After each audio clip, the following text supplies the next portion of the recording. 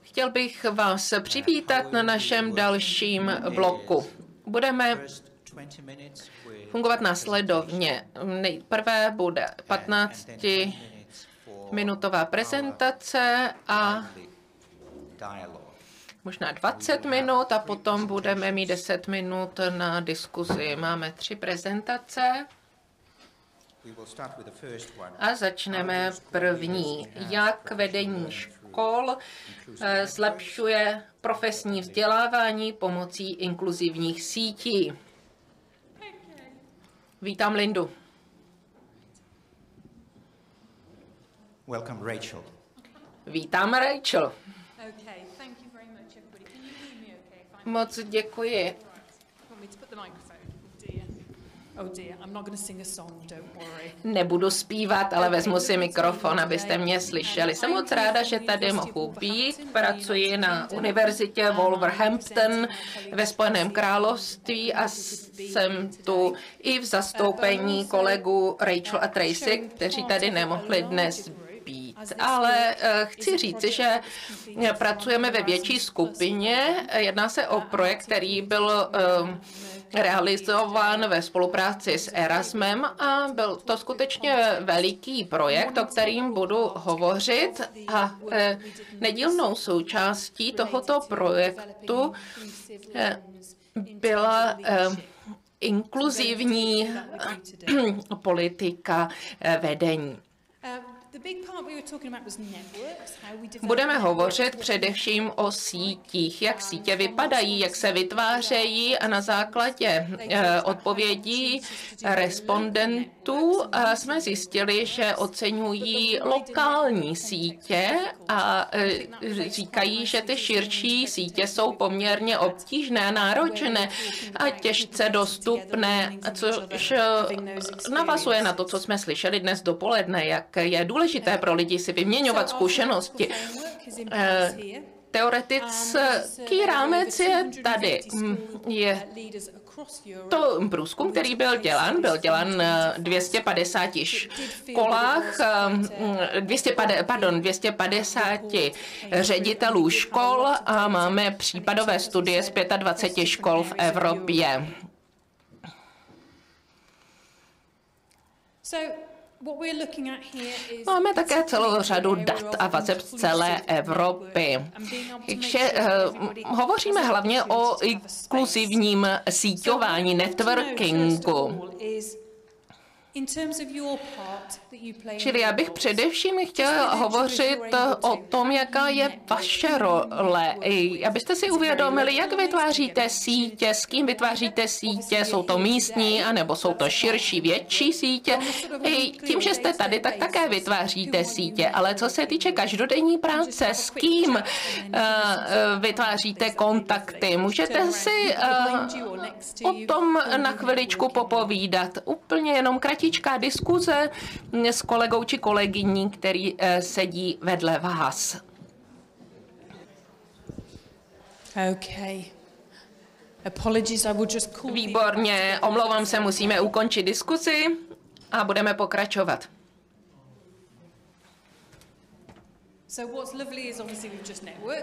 Takže právě jsme prakticky dokázali, že jsme schopni vytvářet sítě. Čili jak eh, vytváříte sítě v každodenní praxi? Nějaké příklady? Chtěl byste někdo uvést? Eh, Viděla jsem, že jste velmi živě diskutovali, tak prosím, buďte stateční, odvažte se to říct.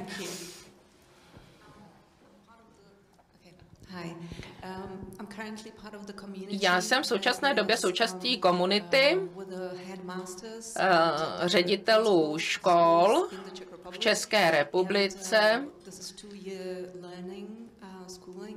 uh, Je to skvělá věc, která je zaměřena na vzdělávání a navazování kontaktů a funguje to velmi dobře a jsem za to vděčná.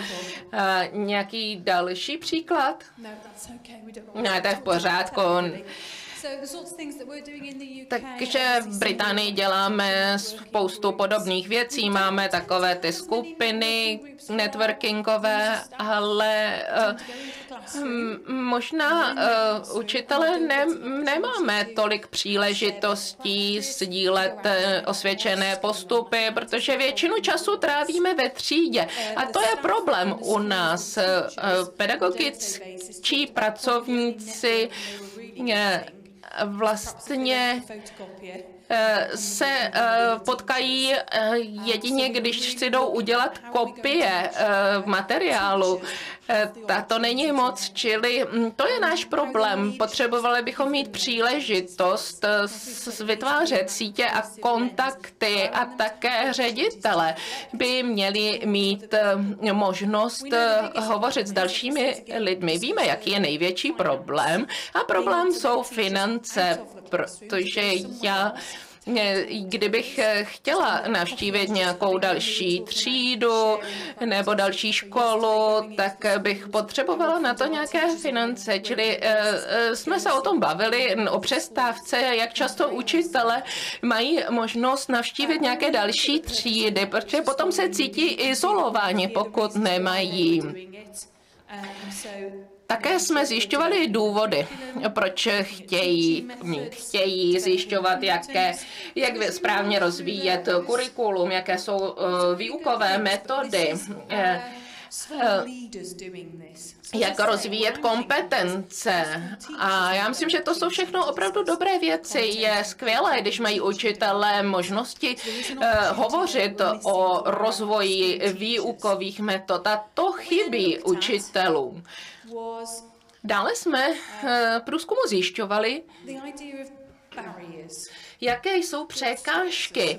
Eh, co nám vadí, co nám překáží? Víme, že jedna věc jsou finance. Eh, co jaké jsou tedy překážky eh, pro učitele, že se nemohou účastnit různých inkluzivních sítí. Slyšeli jsme dnes dopoledne, že jsou eh, problémy mm, například v malých školách.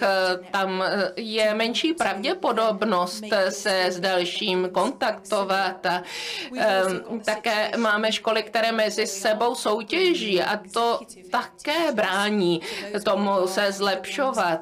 Podobné věci jsou i v Británii.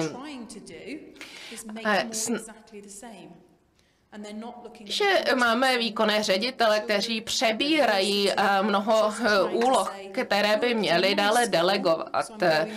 A myslím si, že nám chybí to, aby se osvědčené postupy šířily dál. Například eh, my něco děláme dobře a budeme to šířit dál v dalších školách. Tak je tu celá řada otázek. Jak se jednotlivci na sebe nahlížejí v té učící se sítí? Vy jste Eh, ukázala eh, krásný příklad. Tak bychom se měli ptát, jak se ty informace dále šíří, jak se dostanou do dalších eh, škol. Já, když navštívím nějaké školy a vidím tam skvělé učební metody, tak se ptám sama sebe, jak to realizovat v praxi i v jiné škole nebo přímo ve své třídě. Tak když to člověk hned neimplementuje, tak to postupně zapomene a už není schopen eh, ty poznatky sdílet. A také jsme hovořili o tom, že bychom měli být jako architekti. Naše vedení škol by měli eh, na sebe vzít úlohu architektů a vytváření inkluzivních eh, sítí. Hovořili jsme o tom, že je nutné odstranit překážky přednášky. Moc se mi líbila ta prezentace dneska dopoledne. Zejména dvě klíčové věci. Důvěra a autonomie. A myslím si, že v Anglii eh, zjišťujeme, že eh, učitelům se moc nevěří a nemají velkou autonomii a proto jsme v situaci, kdy ně, ně, nám uh, se zhora říkají, že chceme, aby každé dítě se chovalo stejně, dostalo stejné vzdělání a to vlastně brání učitelům. Nemají dostatečnou autonomii a to si myslím, že je velká škoda v současnosti. Eh, dále eh, také hovoříme o bezpečném prostoru, mm, kde můžeme hovořit o věcech, které nás trápí, které nám nejdou.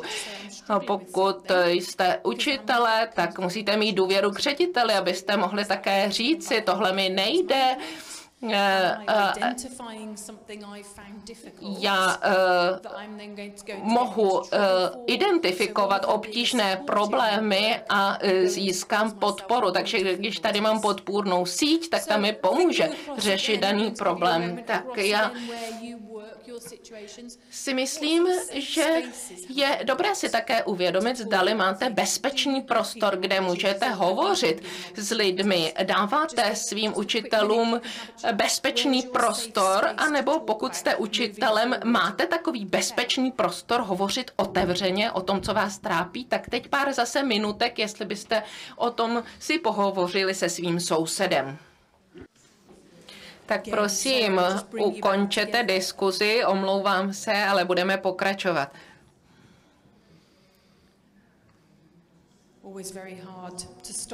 Je vždycky obtížné přestat takovéto debaty. Chcete někdo pohovořit o bezpečném prostoru, kde máte možnost hovořit? Je to většinou bezpečný prostor s kolegy, vlastně s těmi, kteří jsou již vašimi kamarádi, přáteli. Je eh, tu někdo, eh, kdo je ze školy či z univerzity a ví, že tam jsou ty bez, ta bezpečná místa, že... Eh, děkuji. Eh, já jsem ze střední školy, ze střední odborné školy a jsou u nás studenti, jsou u nás učitelé, kteří jsou mladí a kteří velmi rádi spolupracují a setkávají se a pak jsou u nás učitelé, eh, kteří už jsou unavení a situace, která je teď kolem, já nechci se vymlouvat, protože vím, že situace je všude složitá, ale řešíme každý den nějaké nové situace, na které nejsme připraveni. A proto jsme, jako jsou učitelé, unaveni z toho hledat nějaké další, eh, další metody. Ale snažíme se vytvářet dílny pracovní, učitelé se mohou setkávat, setkávají se vždy odpoledne, jednou za měsíc, kde mohou spolupracovat. Dveře do ředitelny a k zástupcům jsou trvale otevřené, mohou chodit se k nám radit. Snažíme se eh, s nimi scházet se pravidelně během jednou týdně s vedoucími předmětových týmů. Snažíme se scházet s kolegy minimálně jednou za měsíc, abychom si předávali zkušenosti, ale je velmi obtížné hledat čas ve školách, kde učíme od 8 do 4 hodin. A ne všichni se těchto setkání chtějí účastnit. Thank you very much. Thank you very much. Thank you very much. Yes, so Moc děkuji. I've just scribbled down as well. Uh, tak moc krát děkuji za ty klíčové body. Bohužel já nerozumím česky. Tak eh, tady jsou rozdíly mezi věkovými skupinami. Mladší kolegové jsou více nadšení se setkávat a eh, chtějí komunikovat a chtějí si vyměňovat zkušenosti starší učitelé, bohužel nikoliv. A samozřejmě ten čas, času je nedostatek, učíte celý den, a já sama učím 20 let, takže někdy se nestihnu ani na obědvat, je to opravdu problém. A potom eh, ještě musíme plánovat další hodiny, připravovat si je, takže je to opravdu náročné. Jak jste říkala, jsou tu týdenní setkávání, eh, pak setkávání jednou za měsíc, tak děkuji moc, děkuji moc za váš příspěvek. Některé překážky, které, se kterými se musíme leaders were trying to pos- remove those obstacles potýkat, co děláme pro odstranění překážek v rámci sdílení sítí. Snažíme se hovořit stejným jazykem, eh, interpretovat situace stejným způsobem. Já si myslím, že to dneska dobře zafungovalo dopoledne. Musíme mít sdílenou vizi, abychom věděli, kam, kam se chceme směřovat, čeho chceme dosáhnout. For Zkušenost s eh, učením se,